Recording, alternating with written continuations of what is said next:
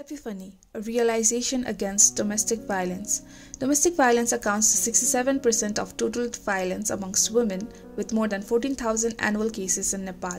This project aimed to address domestic violence in the Nepalese community by sensitizing the adolescents on domestic violence, its types, and ways to fight against it.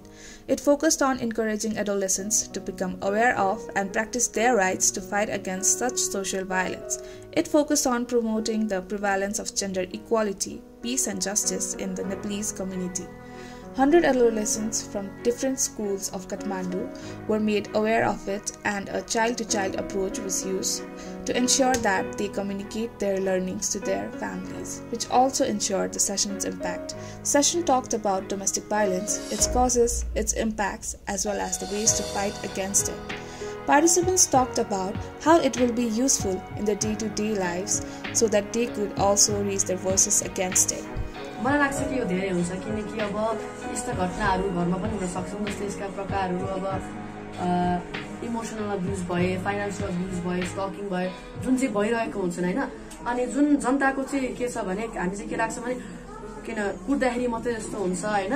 अनि तर यो चाहिँ domestic violence चाहिँ अरू पनि हुन्छ होइन? जस्तै अब पैसाको कारणले गर्दाखेरि पनि डोमेस्टिक भाइलेन्स भइरहेको हुन्छ तर हामी थाहा पाउन सक्दैनौँ।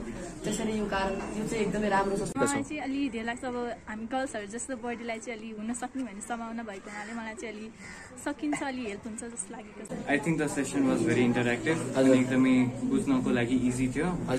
सबैले एकदमै राम्रो रेस्पोन्स दिएका थिए। अनि पहिले पढाएको कुरा थियो तर अझै That's why I think it was easier to understand. Domestic violence is still a hidden problem and is prevalent in Nepal. But with Epiphany, we strive to raise awareness and raise voices against domestic violence by utilizing the voices of tomorrow.